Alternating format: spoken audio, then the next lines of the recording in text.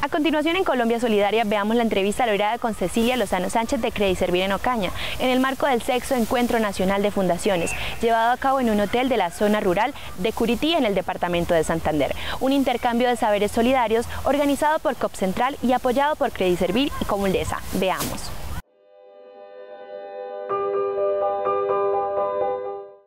Más de 15 fundaciones a nivel nacional estuvieron en el territorio solidario santanderiano. Un hotel de la zona rural de Curití fue el escenario para acogerlos durante tres días en el sexto Encuentro Nacional de Fundaciones. Encuentro organizado por la Fundación COOC Central y apoyado por Servir de Ocaña y Comundesa Limitada. El objetivo de compartir experiencias y de conocer de otras con el fin de poder llevar a nuestras organizaciones eh, estas experiencias y en lo posible poderlas implementar o adaptar para el fortalecimiento de la base social de nuestras cooperativas en cada uno de los municipios. Se desarrollaron unas experiencias de tres fundaciones, eh, una fundación de Cundinamarca, igualmente la Fundación Crey Servir de Ocaña y la Fundación eh, Comuldesa. cabe resaltar que estos espacios nos permiten mostrar lo que estamos haciendo, y sobre todo que las demás entidades participantes pues puedan conocer algunas experiencias, algunas metodologías, algunas acciones positivas que en últimas nos van a ayudar también a, poder implementarlas en cada una de nuestras organizaciones. Eh, es un espacio que brinda la Fundación COP Central en estos encuentros precisamente. Lo uno, para poder mostrar cada una de nuestras fundaciones en cada año lo que estamos haciendo. Y en segundo, para poder conocer temas de interés o puntuales que nos atañen directamente en el caso de las fundaciones o en el caso del sector de la economía solidaria. Uno de los temas tratados en este encuentro fue lo referente a la reforma tributaria, particularmente la ley 1819 del 2016 que en su contenido afecta la inversión social que hacen las cooperativas por medio de sus fundaciones en pro de favorecer su base social. A veces nosotros somos muy pasivos en lo que tiene que ver con la promoción de nuestras acciones positivas que estamos haciendo. Eh, sabemos muy bien y hay un dicho que dice que el bien no hace ruido.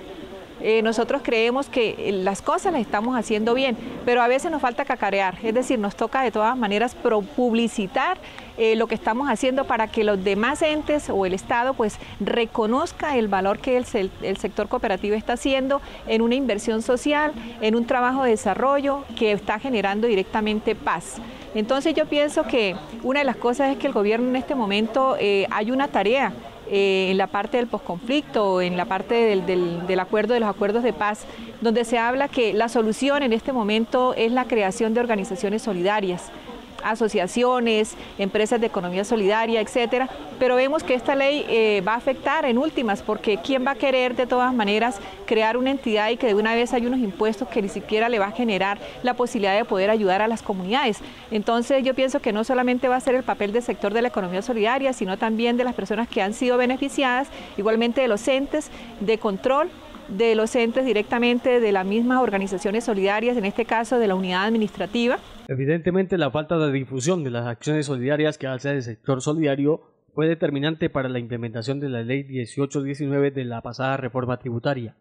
Hoy el Gobierno Nacional propone el modelo solidario como una herramienta para la paz del país, pero el sector se ve afectado por las decisiones que toma justamente en detrimento de sus objetivos sociales. En nombre de la cooperativa especializada de ahorro y crédito Credit Servir, de nuestro gerente Eduardo Carreño Bueno, un saludo muy cordial a todos nuestros televidentes directamente que están apreciando este magnífico programa y decirles que lo importante es que sigamos integrados. Recordemos que están las confederaciones regionales que son las que nos representan también y que son espacios que tenemos para que nuestras organizaciones eh, lleven esas inquietudes, hagamos debates, hagamos directamente mesas de trabajo para poder eh, ver de, con buenos ojos realmente lo que pueda tener eh, positivo las normas y también en qué nos puede afectar y salir adelante. Igualmente a través de la Confederación Nacional, Confeco Nacional y las demás entidades de agremiación.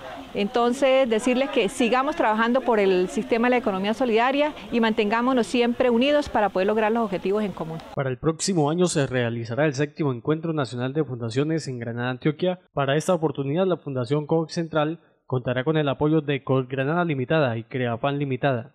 Para el mes de mayo del 2018 se harán cita las fundaciones invitadas en este territorio antioqueño, cuna del cooperativismo ejemplo de solidaridad nacional. Santander Solidario agradece a Credit Servir de Ocaña, Comundesa Limitada, Coop Central y las fundaciones asistentes a este evento. Esperamos acompañarlos en el territorio solidario antioqueño para el año entrante.